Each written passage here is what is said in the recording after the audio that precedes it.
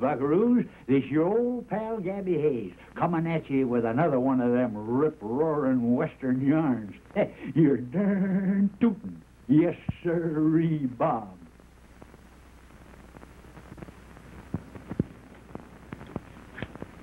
Well, I, I went into town t'other day to watch a rodeo. I enjoyed it, too. You know, the bucking horse riders. But the thing I liked the best of anything else was the ropers, you know, 'cause all of the Hayeses has been great ropers. Well, right now I'm thinking of a special roper. Long Rope Hayes, they called him. They called him that, I guess, because he could throw a rope farther than anybody'd ever lived. Well, one time it had contests. See who was the best roper. First fella got up and he roped himself a, it was a pigeon flying across, you know. He got him. He pretty good. Next fella got up, he, he roped a sparrow.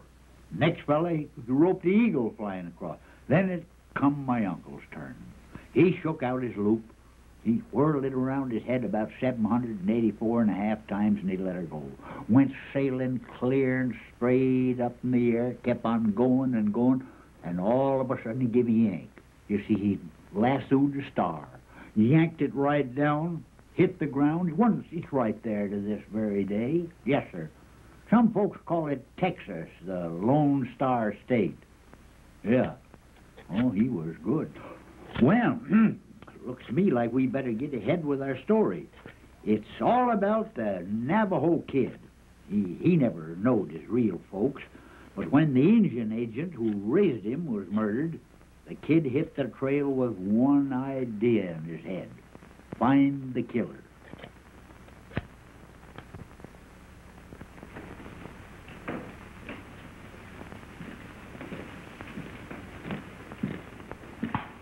What'll it be, stranger? Make it anything.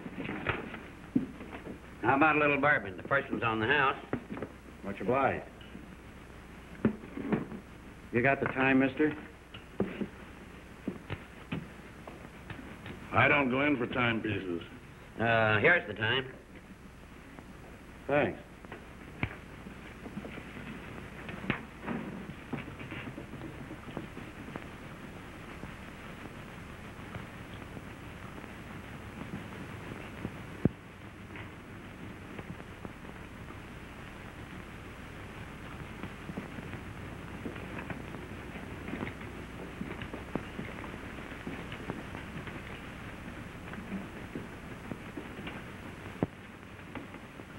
Where'd you get that ring?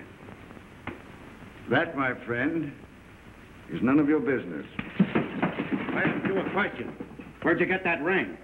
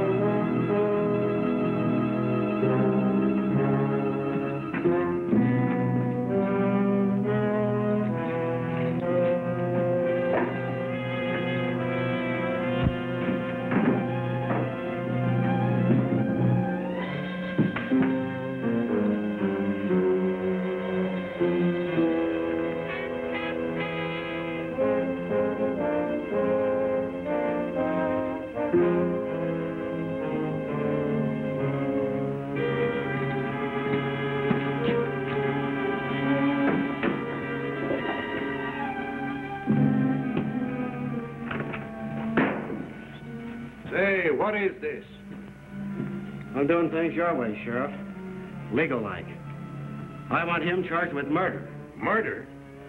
For the murder of Joe Kirk, the Indian agent at Rock Springs. You're all wrong. Grogan couldn't have done it. He was on the stage with me, remember? You joined us later. He couldn't have been within 50 miles of the Indian agency. Maybe not. But he's mixed up in it somewhere. He wouldn't have had this. Whoever killed my dad took this ring from his finger. You sure that's the same ring? I made it myself. Hammered it out of a piece of silver. Well, I don't know just what to say. Neither does Grogan. Right now.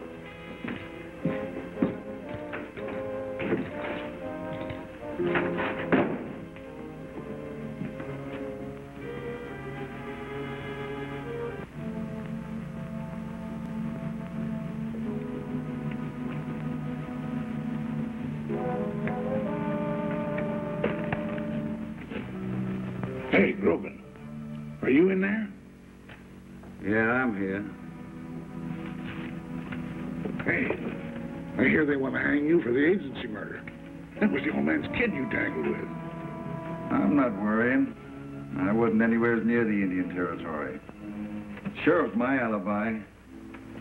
No, I'm not worried, Crandall. You see, I happen to know who did kill Joe Kirk. Yeah? Yeah, and I could talk, Matt. Yeah? Go on, keep talking. What else? Well, if you boys could cut me in on, say, half of what you took out of that agency safe, my mouth would be shut tight. Sure, we'll cut you in. Grogan, Thanks, Matt. Right now.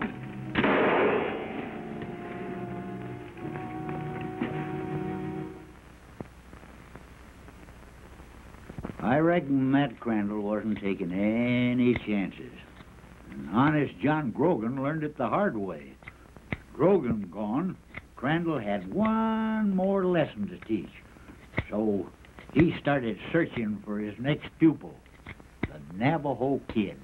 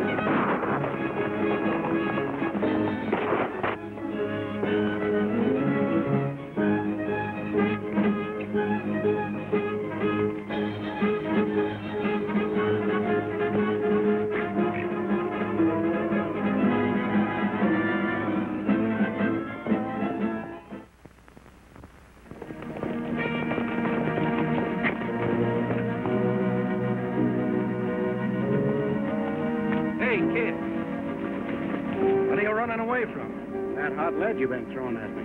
What's the idea? Now, quit bluffing, kid. I'm taking you in for the murder of honest John Grogan.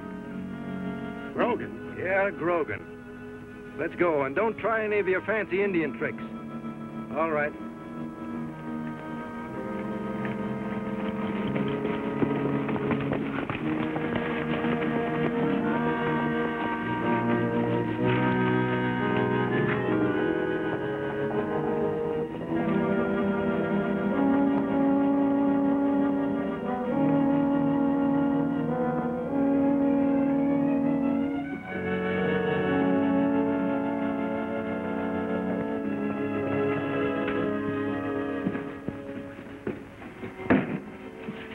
Pretty bad for you, Kirk.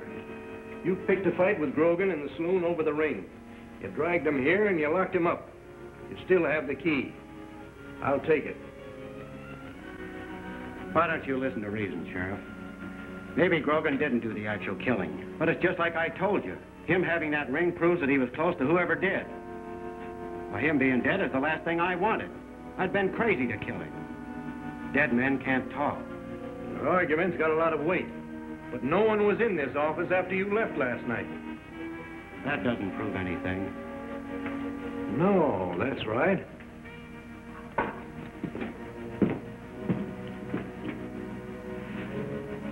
Come with me.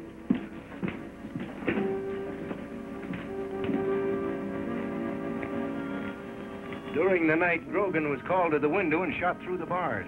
How about that, kid? I told you I wanted him alive, so he could talk. Hey, what's that? Buckshot. Buckshot. Well, how about it, Sheriff? Are you going to hold me? No. Can I have my gun? Be careful how you use that hardware, kid. I'm careful about everything.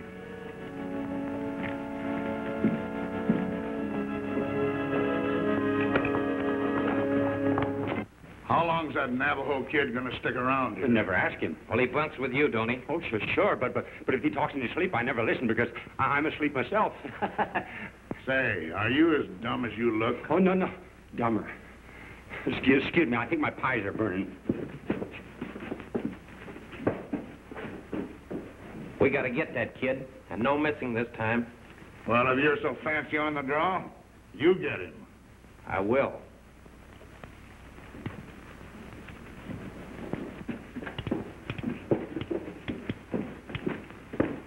I, I gotta deliver a pie in a hurry. Well, who's stopping you? Oh, no, no, nobody, nobody. We wouldn't have nothing to worry about if you hadn't lifted that ring off of the agent, Crandall. Well, I did. Now you go on out and lift that kid out of his boots. You ought to be back here in five minutes. Less than that.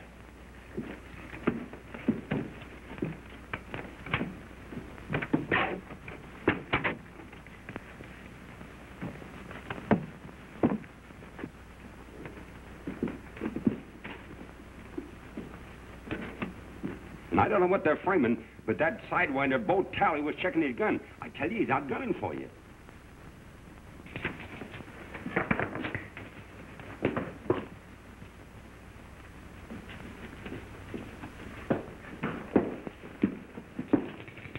I heard you were looking for me. You heard right, Tully.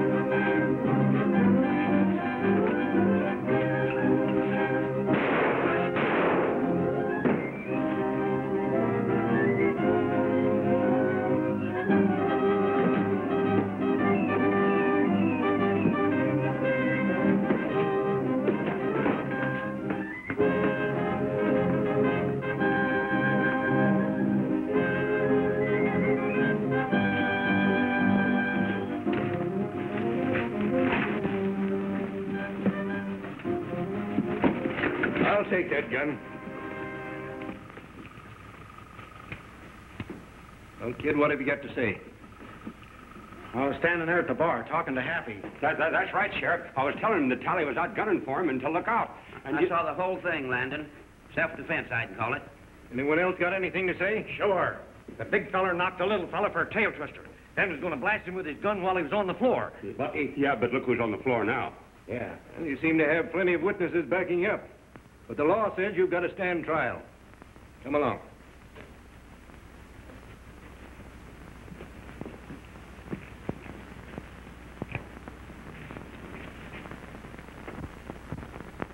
Well, Navajo had one chance in a million to continue his search. And this one chance showed up. It was his friend Happy. Navajo stopped long enough to say thanks, and then he hit the trail like a jackrabbit.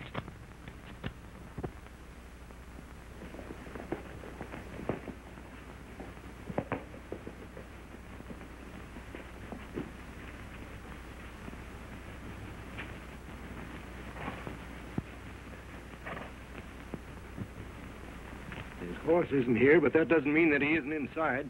You cover the back door, Steve.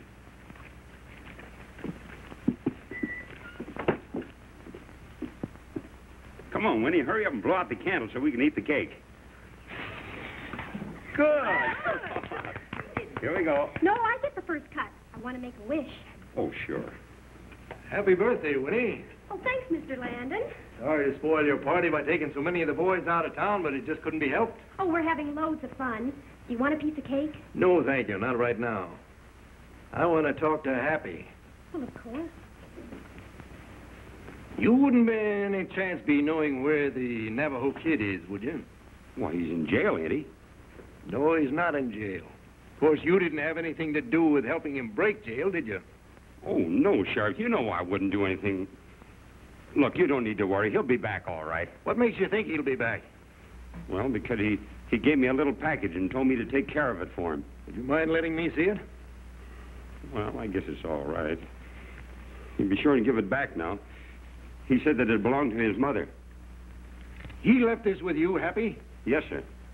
I gave this to my wife just before we were married. Huh? Happy, if you know where the Navajo kid is, talk. I've got to find that boy before my men do. You mean he's your son? There's no doubt about it. Come along with me, Happy.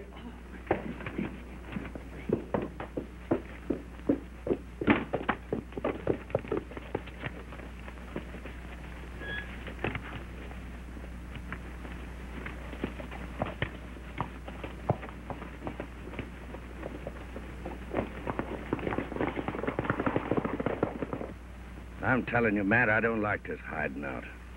No telling where that infernal kid is. Know, if it wasn't for that dough, we could put distance between us and Canyon City. Oh, stop bellyaching. We'll get that dough out of Murdoch's safe and blow.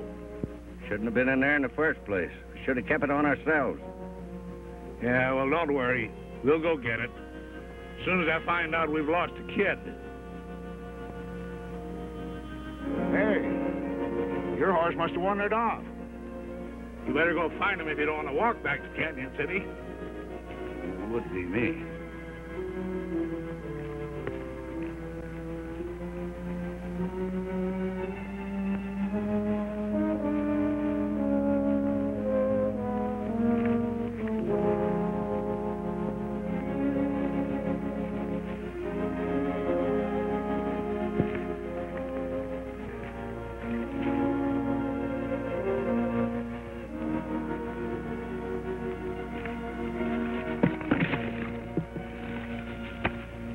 Start talking.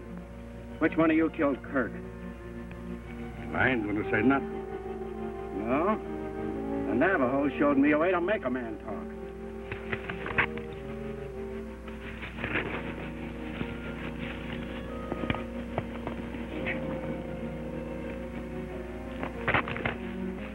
Well? All right, I'll talk. It was Matt Crandall. Matt Crandall fired the shot that got him, Tally and me robbed the safe. That's all I want to know.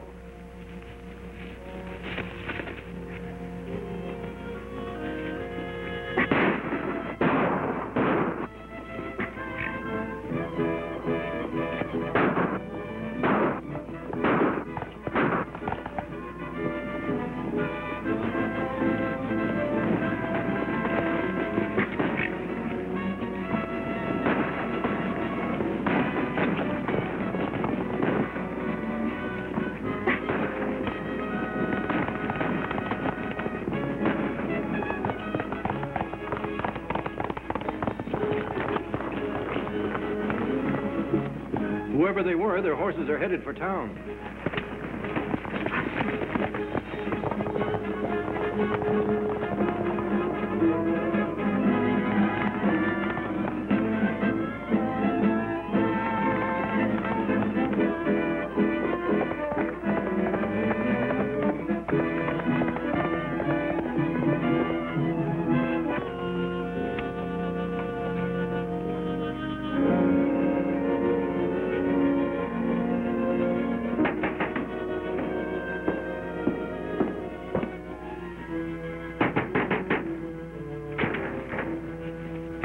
That little package you put in the safe for me, Murdoch. Come back tomorrow, Crandall. I'm closed for the night. I won't be here tomorrow. Open that safe. Hey, what is this, a holdup? You heard what I said. Open that safe.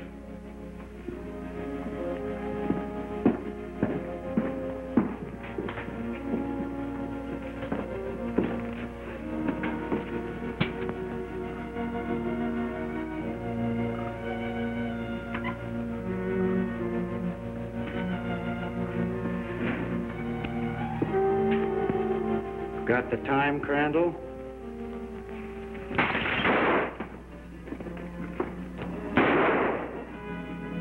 Over here, Crandall.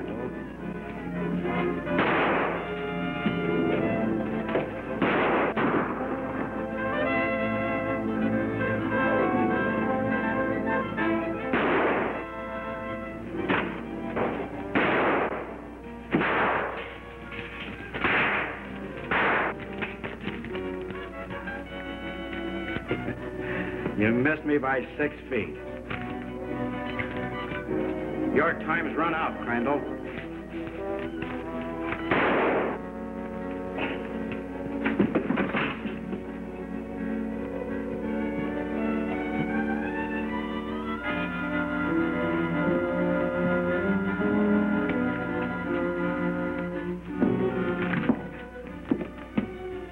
Don't get the wrong idea, mister.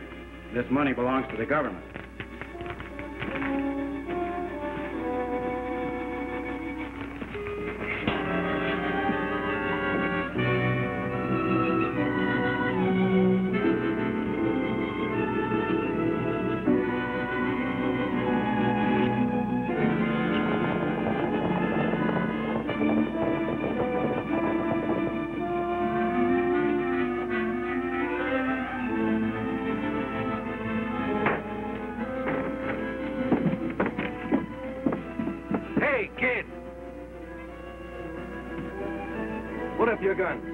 An order. The kid is mine.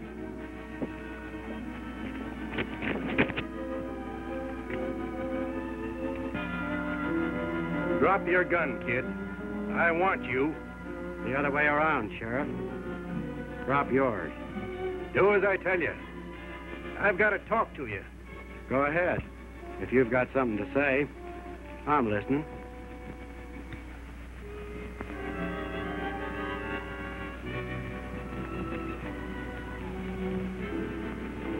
Do it. Don't do it, kid. You can't. He's your father. What?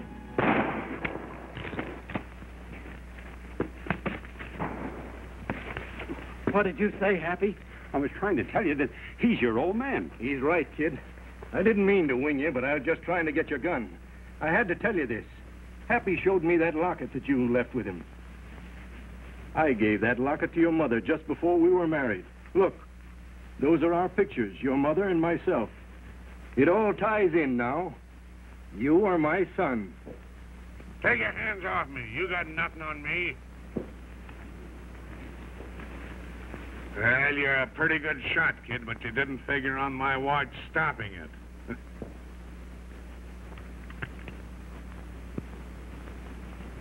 This is the watch he took from Joe Kirk after he killed him. Strange that this time piece should have saved you from killing him. Got the time, mister? Where he's going happy, he'll have plenty of time. I'm holding him for the United States Marshal. You know, I kind of like that story. I had an uncle once just like that Navajo kid. He was raised by the Indians. Yes, sir. Everybody called him Big Chief Hayes. All the Indians loved him, too. Well, one summer he was up north when a terrible cold spell hit the country. It got so cold if you'd light a fire, the flames would freeze. Oh, it was terrible. Then it got colder and colder. Well, the earth just froze solid, couldn't even spin around no more. Then the sun all froze up and the moon. Well, it was getting awful. So he called all of his Indian friends together, and they all come. Each one of them had a big totem pole on his back, and they climbed up on top of the mountain. Put them totem poles down.